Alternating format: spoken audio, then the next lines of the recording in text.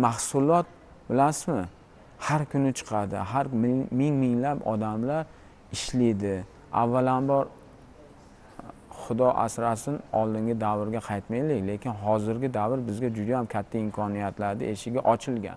Oldin ikki ming o'n besh ikki ming o'n to'rtinchi yillari o'zingiz bilasiz yo'llar yopiq edi mahsulotni poyezdlarda jo'natardik provodniklar bilan sinib borardi mahsulotlar. Yetib bormasdi yo'qolardi.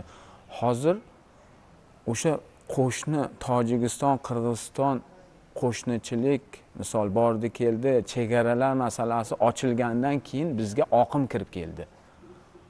Bozorimizga oqim kirdi bizni mahsulotimizga.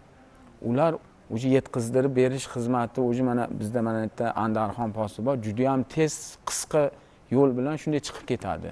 Furada misol yuklaymiz mahsulotlarni shartnomalar bor eksport amalga oshiriladi juda tez. Sotib ham olishadi. O'sha eksport qilib mahsulotlarni biz yetkazdiramiz. U yerda ham magazinlarga nimalarga qo'yib sotishadi ular ham. Tojikistondan основной bizni nimamiz? Mana shu qo'shni tojikistondan boshlangan.